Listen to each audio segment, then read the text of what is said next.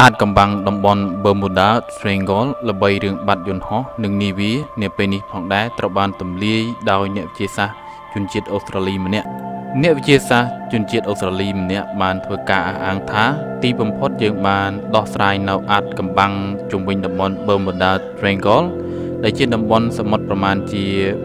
7សែនគីឡូម៉ែត្រនៅចន្លោះរដ្ឋ Florida កោះ Puerto Rico និង Bermuda ដែលបានឆក់យកជីវិត មនុស្សយ៉ាងតិច1000នាក់ក្នុងរយៈពេល100ឆ្នាំកន្លងមកដោយមិនមានការបញ្យល់ច្បាស់លាស់ហើយអ្នកវិទ្យាសាស្ត្រជនជាតិអូស្ត្រាលីគឺលោក Carl Cruz Siliski បាននិយាយថានាពេលនេះគ្មានអាចកំបាំងទៀតទេ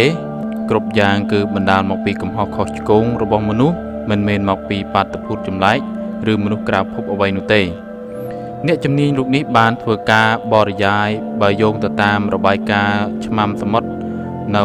Lost of London និងសហរដ្ឋអាមេរិកចំនួនយន្តហោះដែលបានបាត់ខ្លួននៅក្នុងតំបន់ Bermuda Triangle គឺមិនខុសគ្នាពីចំនួនគ្រោះថ្នាក់នៅតំបន់ផ្សេងក្រៅពីទីនេះទេ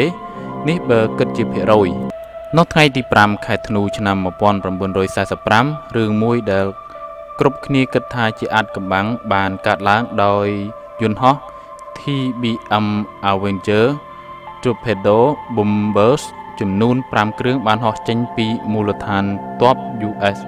Naval Station នៅរដ្ឋ Florida ក្នុងបេសកកម្មវឹកហាត់តែក៏បានបាត់ខ្លួនទាំង5គ្រឿងព្រមគ្នានៅតំបន់នោះ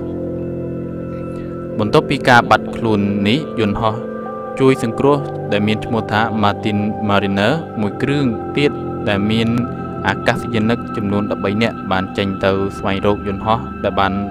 បាត់ខ្លួនទាំងនោះ ក៏ប៉ុន្តែក៏ត្រូវបានបាត់ខ្លួនជាមួយគ្នាដែរហើយក៏រកមិនឃើញដូចមុនមុនលោក Kruscerski បានបញ្យល់ថាយន្តហោះទាំងនេះបានបាត់ខ្លួនដោយគ្មានដាន បន្ទាប់មកយន្តហោះមួយគ្រឿងទៀតត្រូវបានបញ្ជូនទៅស្វែងរកយន្តហោះដែលបានបាត់ខ្លួននោះ ហើយក៏បានបាត់ខ្លួនដែរអ្នកខ្លះលើកឡើងថាប្រកាសជាមានមនុស្សពិភពកាយប៉ុន្តែការពិតអាកាសយានិកដែលបញ្ជូនទៅនោះ មានតែម្នាក់ទេ ដែលមានបទពិសោធន៍ចំណែកអ្នកផ្សេងទៀតមិនមានបទពិសោធន៍នោះទេអាកាសធាតុក៏មិនសូវល្អហើយមានរលក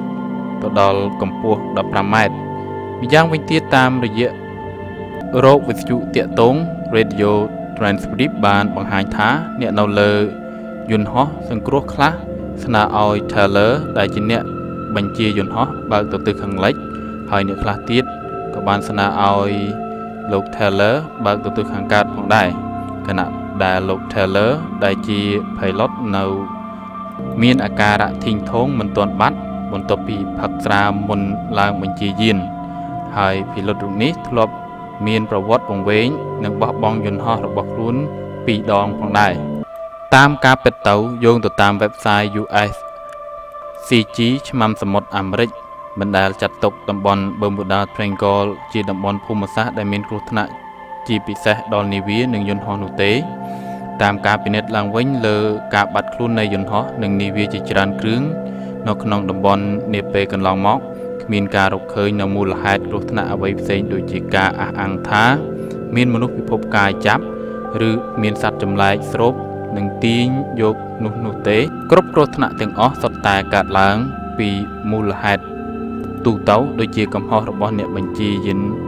ជាដើមស្ថានភាពអាកាសធាតុមិនអំណោយផល ហើយការបាត់ខ្លួននោះក៏ប្រហែលជាមកពីការលិចបាត់ចូលទៅក្នុងបាតសមុទ្រតាមរយៈទឹកគួចនិងខ្យល់ព្យុះតែប៉ុណ្ណោះ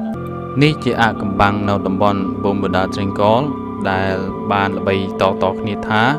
បានបាត់យន្តហោះនិងនាវាដោយអាកំបាំងតែពេលនេះផងដែរត្រូវបានទម្លាយអាកំបាំងដោយអ្នកវិទ្យាសាស្ត្រម្នាក់ ជាជនជាតិអូស្ត្រាលីតាក់ទងជាមួយនឹងហេតុការណ៍ដ៏ចម្លែកនេះជាដល់ទីបញ្ចប់ហើយ